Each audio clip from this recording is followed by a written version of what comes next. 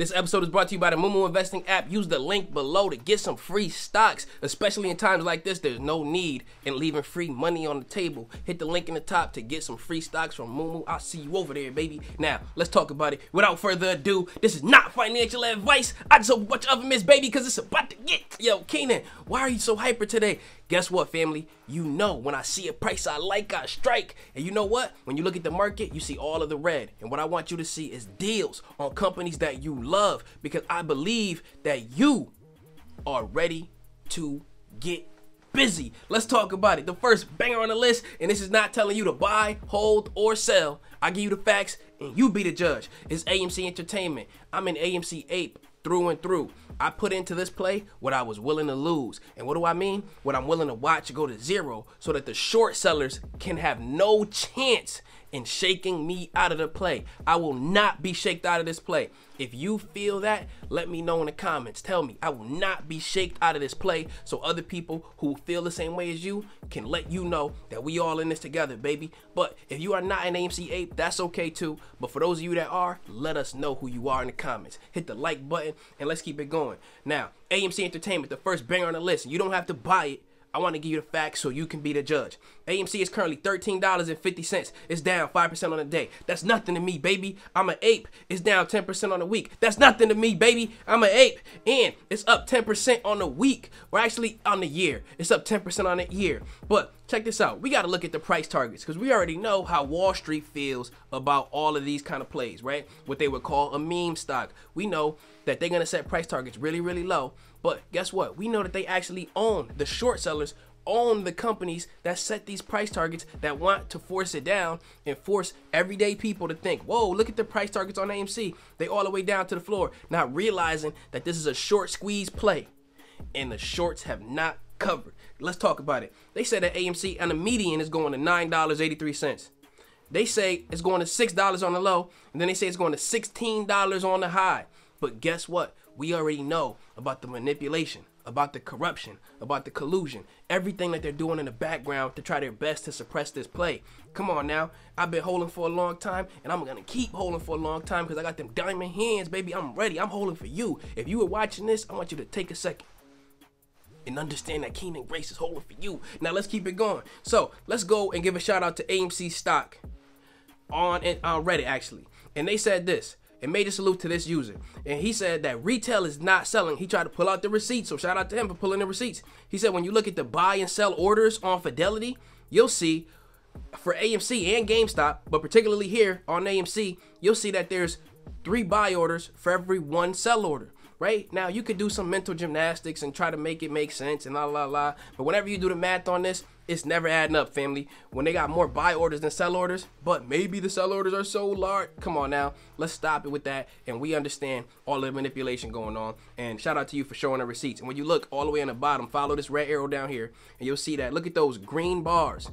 Look at all of the green. That's buy orders versus the little bit of sell orders. So retail is holding. This is why I wanted you to say that in the comments so everybody could see that we are holding for each other. If not, there are people who are even buying the dip. This does not mean that you have to buy the dip, but this is what's going on. And I got to give you the facts. Keep it real, keep it raw, whether it's good, bad, or ugly. Now, let's check this out. Adam Aron came out and told us some news on AMC about the trajectory of what they're thinking, him and the rest of the managers of AMC. He said this today at our annual meeting, he posted this on March 11th. He said, Our annual meeting, right, with the U.S. managers, all managers in the United States of AMC theaters. He discussed two key goals, not one, but two key goals. And he said he already stated it publicly, but the first one on the list is recovery.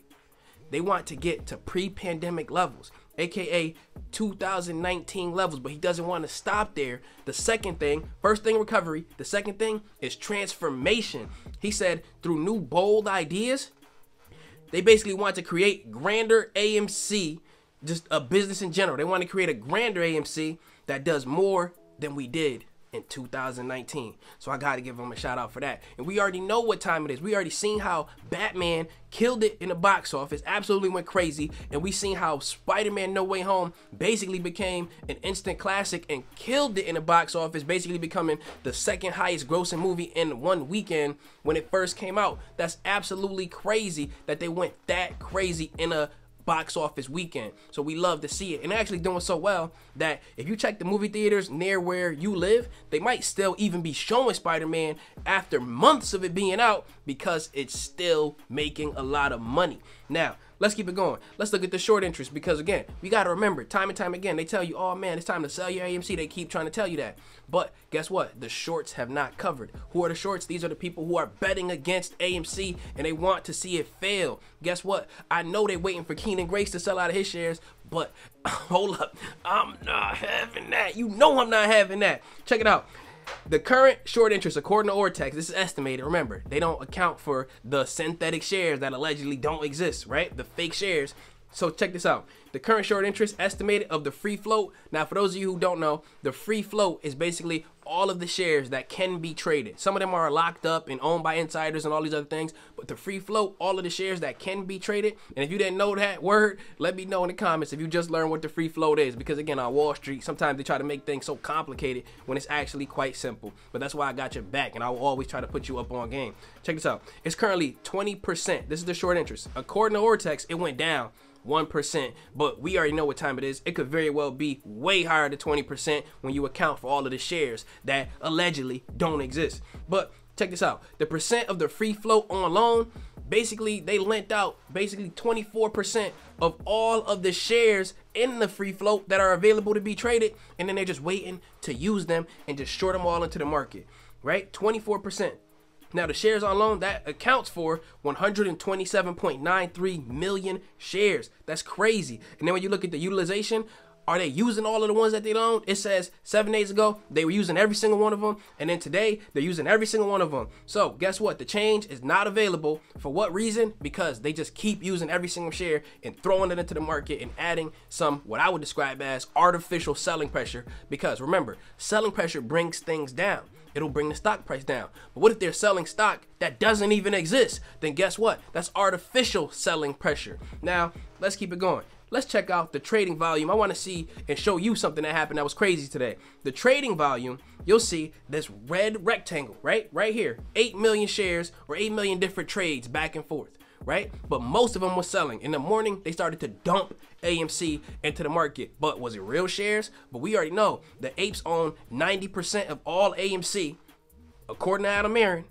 But you know what? All of this share pressure or selling pressure coming down, come on now, it's looking funny in the light. And it all happened at once in the first 30 minutes of the market. And then when you go to 10 o'clock, then it just cools off just cools off. Still selling pressure, but it wasn't that big giant dump that they threw into the market of shares in the beginning. We know what time it is, but let's check this out. Let's look at the options. When you look at the calls, which are largely bets that the stock is going to go up, versus the puts, which are largely bets that the stock is going to come down, you're going to see that in the money calls, the bets is going to go up. Basically, and most of them are bets is going to go up. Some are bets is going to come down, but most are that is going to go up. There's only 2,800 compared to the puts that are in the money, aka in the money meaning they're expected to expire with value by expiration, 123,000. 100 oh 26,000 to be correct. Now, this is crazy. I've never seen such dominance on the put side compared to the call side. Now, this is absolutely meaning that the people who are betting against it are actually making a lot of money here but guess what? That will never shake me out. Never. Because I got into this prepared, not surprised. I tell you the five P's. Proper preparation prevents poor performance. I want you to live by that. I want you to be prepared for all things. Now, let's keep it going. When you look at the institutions, remember, this is always going to look funny because according to the last quarter, everything that was reported, especially in a filing called the 13F, that's reported to the government and to the regulators that it says that institutions own 34%. But remember, Adam Aron told us that the apes own 90%. 34%, 90%, that does not add up to 100, family. So, somebody's doing something that looks illegal. I wonder where the SEC is. Who is the SEC? I tell you, they're the alphabet boys, right? The SEC, these are like the, the federal government. You could think of it like that of the stock market. And then you got FINRA. They're kind of like the police of the stock market, but where are they? They're nowhere to be seen. So, again, I love y'all. I appreciate y'all. I do want to tell you what prices to look out for on AMC. The first price down here is basically $13, right? If it breaks below here, it's very likely that we're going to head to 10. Not a guarantee, because we would love to see a buying wave send us right back above the $15 resistance, and then we would like to break above the 20 and then head back up on a mean uptrend, baby. We would love to see it. But I want you to do this. Remember this if nothing else. During a recession, during a market pullback, during a correction, no matter how long it lasts, whether it be a few months or maybe even a year, maybe even longer than a year, he who has cash and she who has cash is king and queen. I want you to really understand that. Let me say it again for those of you in the back that might not have heard me right the first time. He who has cash is king, and she who has cash is queen during the market corrections, during the market pullbacks, during the recessions, whatever you want to call it. Why? Because everything is cheap, baby, and then you get to pick it up. I want you to join the 26 week challenge, which we are now getting into week number two, where I challenge you, and it's quite simple and straightforward. Get on the Discord with us, hit the link in the top comment, get on the 26 week challenge where we are going to save $5,000 minimum by September. And it's a lot easier than you think. Hit that link. I'll see you over there. And I'm going live on Discord tomorrow at 9:30 a.m. So I see you over there, baby. But if you can't handle the heat of these hot stocks, then stay out of the kitchen. Consider investing in index funds. Again, remember this, if nothing else. I love y'all. Take care.